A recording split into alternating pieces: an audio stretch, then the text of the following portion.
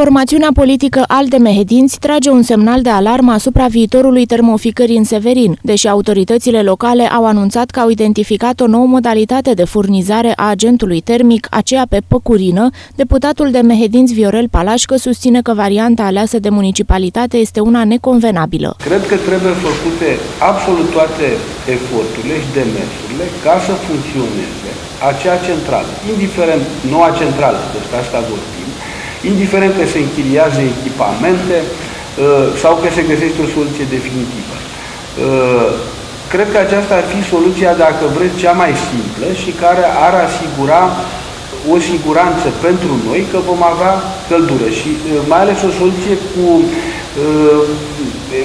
eu știu, consecințe birocratice mult mai puține, pentru că intrând în zona cealaltă, birocrația părea mea că va îngropa foarte mult bunele intenții de a avea căldură de la, de la RAN.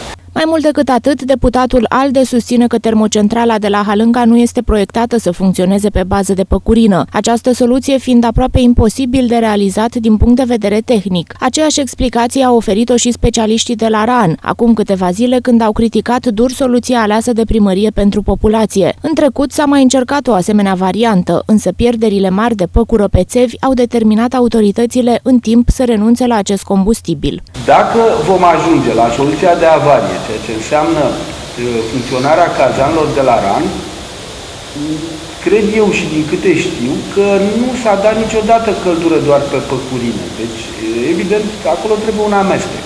Preponderent cărbune uh, și păcurina este, dacă vreți, un uh, mix al acestui ingredient care va da, va da căldură. Deci cărbune plus păcură.